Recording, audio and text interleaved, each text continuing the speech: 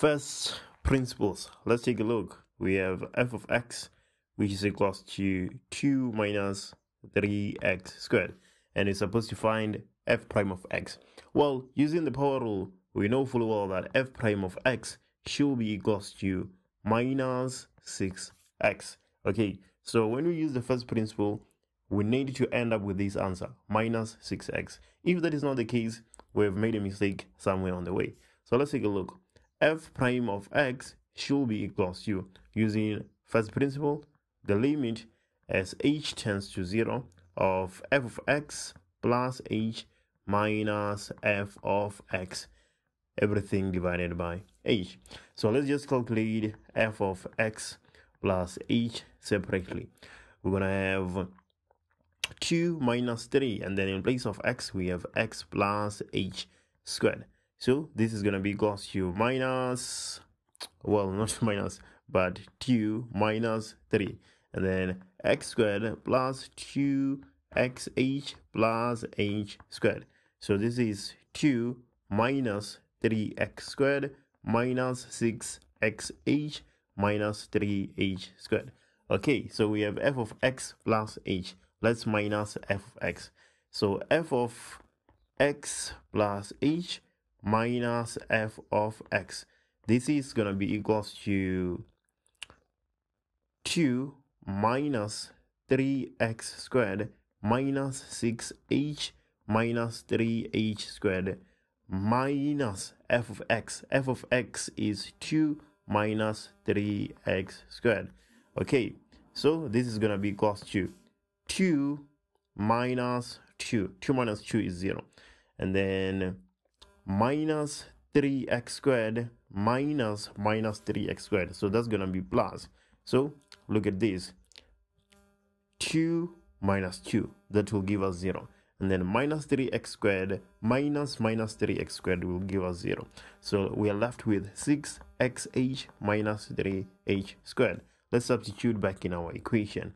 So f prime of x as the limit tends to 0, we have 6xh minus 3h squared. Everything divided by h. Let's take h as a common factor on the numerator. If we do that, we are left with 6x. Well, this is minus, right? This is minus because take a look at this minus 6xh. So here we should have minus. So when you take a common factor, we're going to be left with minus 6x and then minus 3h divided by h. h and h will cancel out. Now let's let h be 0. We're going to have minus 6x minus 3 multiplied by 0. So this is just minus 6x. And it's exactly what we are saying what we said we should end up with. So we are convinced that we have done everything uh, the right way. That is 8.1. Uh, quite easy to compute, 5 marks. And then 8.2.1, we have, we're looking for f prime of x when f of x is equals to 2x to the power 4 minus 3x plus a squared. Okay, f prime of x is going to be equals to 4 multiplied by 2 is 8 and then 4 minus 1 is 3 okay? And then 1 multiplied by minus 3 is minus 3 and then 1 minus 1 is 0 x to the power 0 is 1 so we are just left with minus 3 and then here we have a squared. A squared doesn't have a variable of x so that's a constant. We're going to have 0 so f prime of x is equals to 8x to the power 3 minus 3. a squared becomes 0 because it is a constant. Or at least we're not derivating with respect to a, we're derivating with respect to x.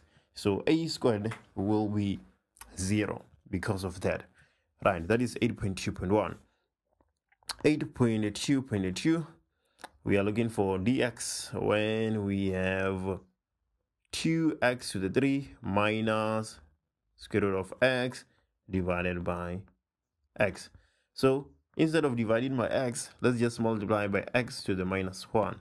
okay we can do that so dx and then we have 2x to the 3 minus square root of x multiplied by x to the minus 1 okay so dx and then what is 2x to the 3 multiplied by x to the minus 1 we're gonna get 2x and then we add the exponents.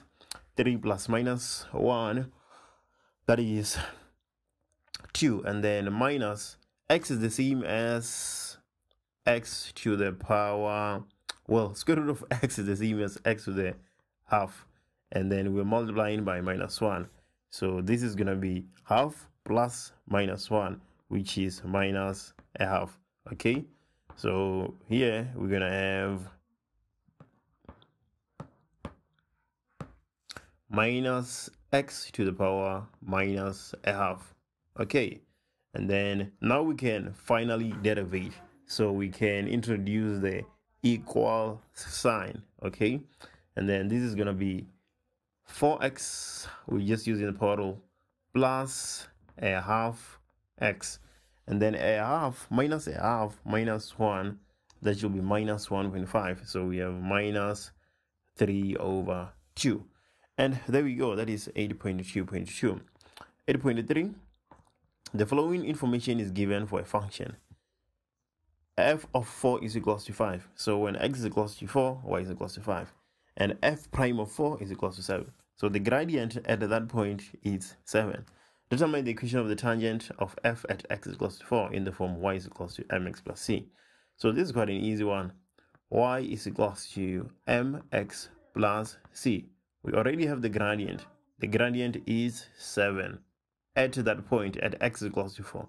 So we have 7x plus c. So we just need to see. We just need to determine c. But we're given this point when x is equals to 4, y is 5. So we have 5 7 multiplied by 4 plus c. So let's take a look. 7, 14, 21, 28.